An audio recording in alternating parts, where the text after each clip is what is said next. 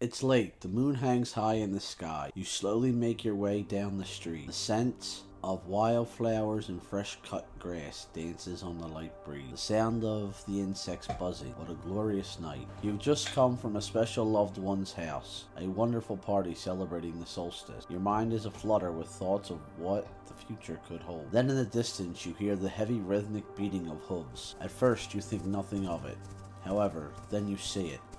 Riding towards you, a dark figure on a dark stallion. The rider's approaching quickly. The hooves of the horse look as if the animal's feet are on fire.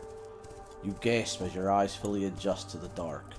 The horseman has no head on his shoulders. One of its hands clutching the horse's reins and the other holding a long whip in the air. It cracks the whip as the galloping gets closer. It stops right in front of you as the horse rears up on its hind legs. You see now that the horse is headless as well. You scream as the rider's wrist snaps and your eyes fall upon the whip as it comes crashing down. The whip looked as if it was a human spine. With a searing pain, you grab at your eyes and fall to the ground crying in pain. The galloping starts again. Finally, the sound disappears. You wait for long minutes then try to open your eyes, but you can see nothing. The horseman has taken your sight.